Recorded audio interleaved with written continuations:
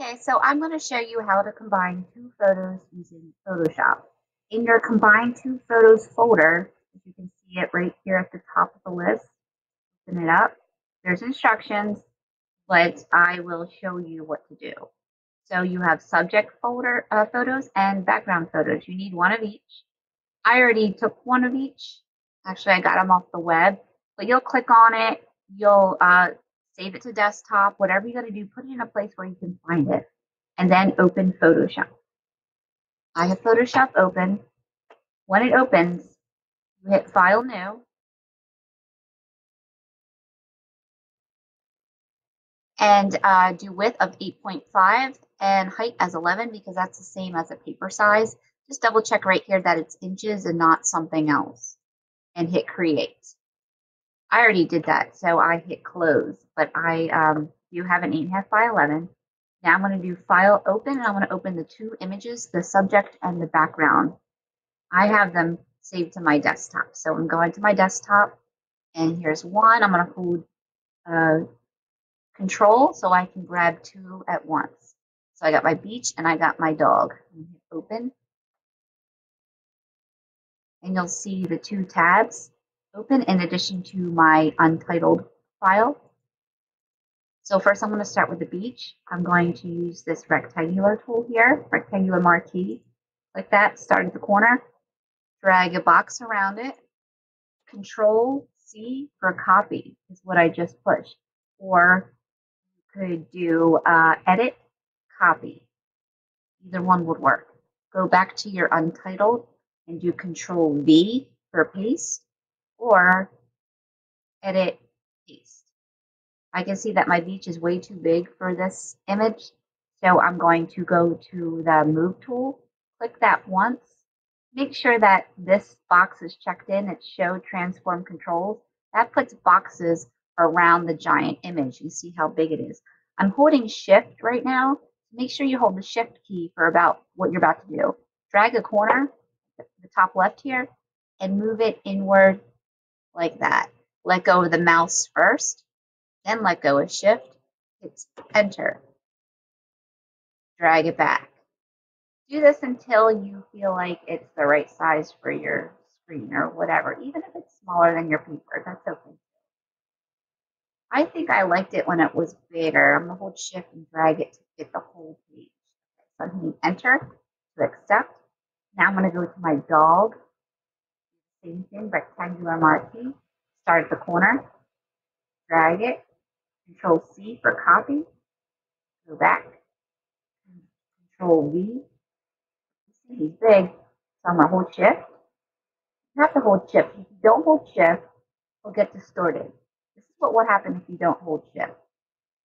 That's bad photoshopping. So I'm holding shift, dragging in, bringing them over, dragging him some more, putting him right in the middle of the sand. Well, his foot's cut off, so I'm going to put him on the edge of the paper so it looks natural. Well, it's like both his feet are cut off. One's over here. I'll make him big enough so that you can't tell. You hit enter. Okay, so I actually combined two photos already, but it doesn't look natural because of his white background. Because it's all one white, white solid color, I can go to this tool, this magic wand, with it, click anywhere in the white, it will select everything of that same pixel. Now I see there's a problem here. It's confusing itself. It's going within this fur. If I delete all this white, it will also delete this fur. So I don't want to do that. I'm going to keep it selected, but I'm going to use the eraser tool and make it a little bit small. That was a huge, that's a huge size. See up here? I'm going to make the size smaller I do like the fuzzy one, not the straight edge. I think I'm going to stick with the fuzzy and just start erasing as close as I can to him so that it doesn't really interfere with his fur over here. I can just be careful in this area. I could probably go faster in this area because it's pretty, they, they did a good job of selecting the area around him there.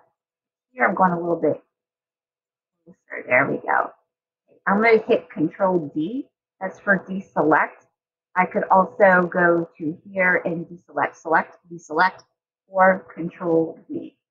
I like Control D. Okay. Now this area here doesn't look so natural because it's not sand.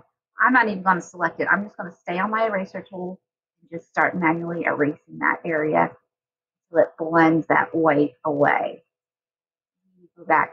If I think it's too big of a, of a size of a circle, I can bring it down a little be a little more accurate. If I don't like the fuzziness to it, I could change it to a straight edge, hard round, and get real close. See how it's definitely more precise.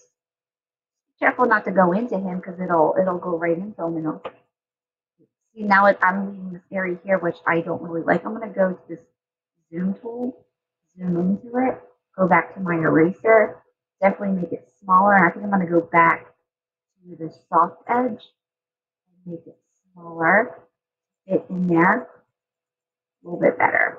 And then I could hold down the space bar and move it around. See, if I hold space bar, it turns into a hand and I can move him around and I can get closer. This. Be real precise. Spend a lot of time on this and make it perfect. I'm not going to do that for this video. Look, we had a little bit of a problem right here. So maybe if I if I did it again, I would be more careful up there. So control zero would bring me back.